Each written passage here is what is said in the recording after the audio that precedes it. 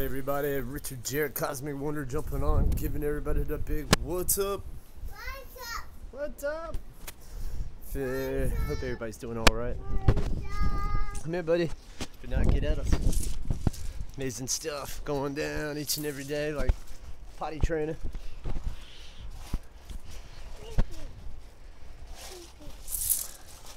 But uh, you know me, always like jumping on, talking about amazing things going down, awesome stuff, amazing writers, lecturers, authors, musicians sometimes, creative thinkers. Um, but if you get a chance, jump on your uh, Kindle, look up uh, Leonardo da Vinci. If you haven't heard of him, he's a pretty famous artist, but he was a high initiate as well into uh, ancient knowledge, which comes out if you really understand it. You can really see it in the uh, painting, especially the Last Supper, where portraying Christ as the sun and the disciples as the 12 signs of the zodiac. And if you look at their hand gestures, they all replicate the house, zodiacal house that they reference.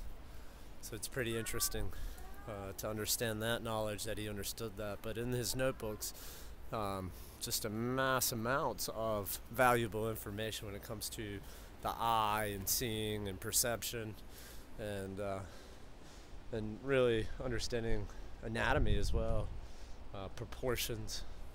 Uh, he knew all that and he dropped some truth bombs in there for you guys. So it's a powerful time to, to be alive and being able to access these uh, writers and thinkers and especially renowned people that uh, a lot of people know about but don't understand or don't know that they knew this hidden stream of occult knowledge.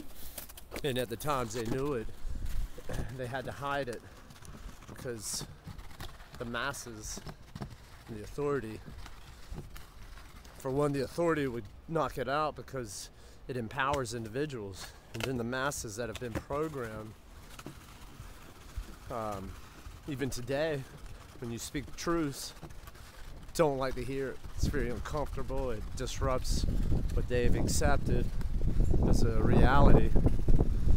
And to me, in understanding the truth, it's false you uh, know, in certain ways. You carry that on through your adult life. It explains why a lot of the bad things we see today, how masses are so easily divided. Easily divided. So, but it's changing, and it's shifting, it's beautiful, especially for these little guys.